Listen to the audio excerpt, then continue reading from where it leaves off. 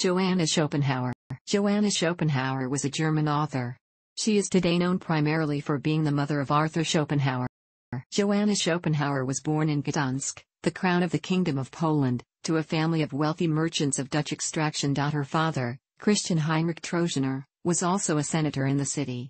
At 18 years of age she married Heinrich Floris Schopenhauer, a rich merchant 20 years her senior. He was to become the father of her two children, Arthur and Adele Schopenhauer. In 1806, shortly after her husband's death, Johanna and Adele moved to Weimar.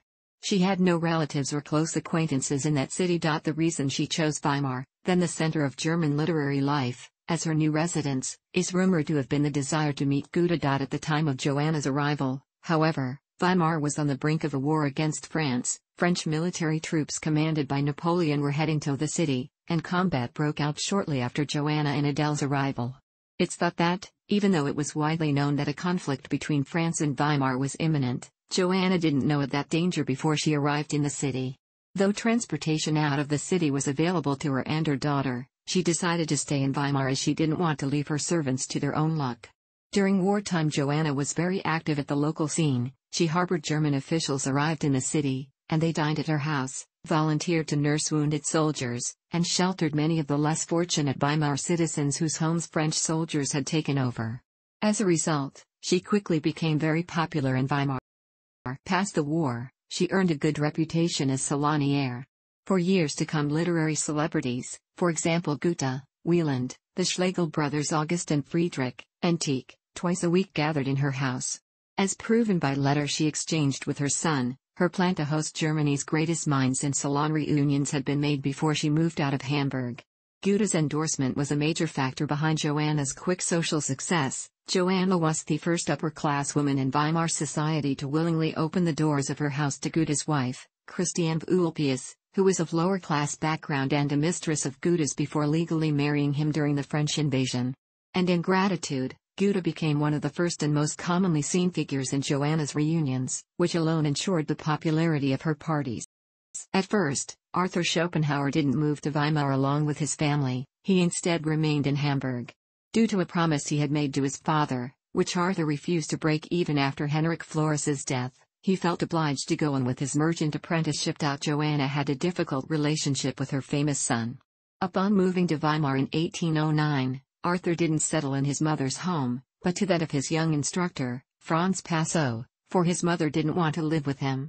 Many of the extant letters she wrote him attest to her exasperation towards Arthur's pessimistic outlook on life, his haughtiness, and his assertive manners.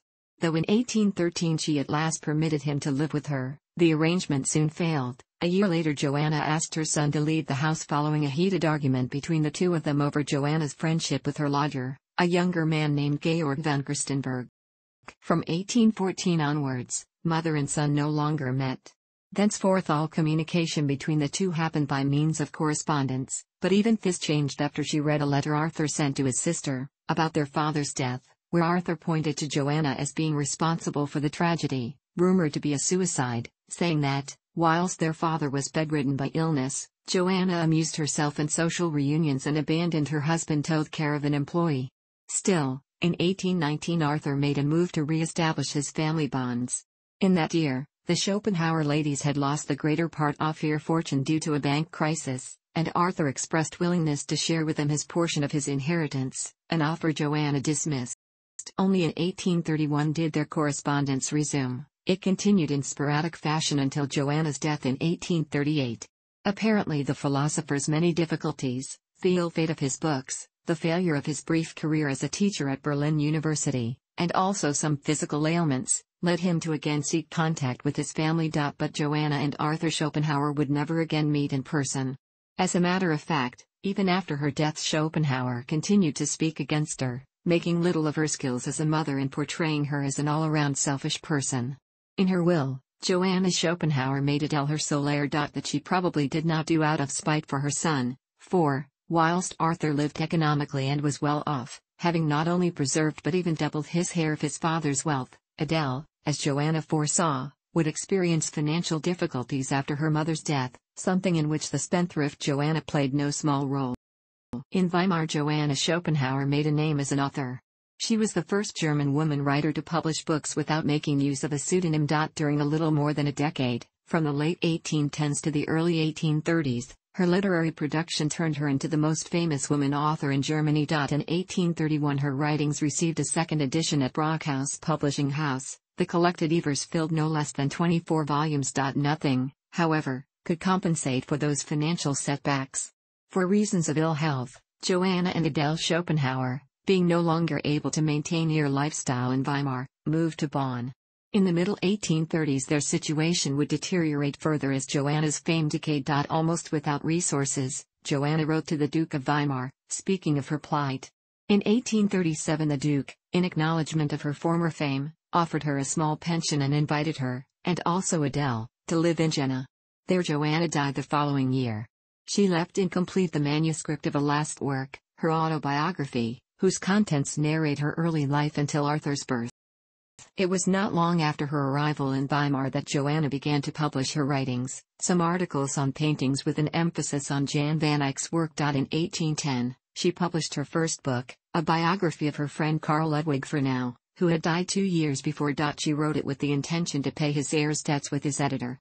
As the book met with critical success, Johanna felt stimulated to pursue a career as an author, a career on which her livelihood would depend, after the aforementioned financial difficulties.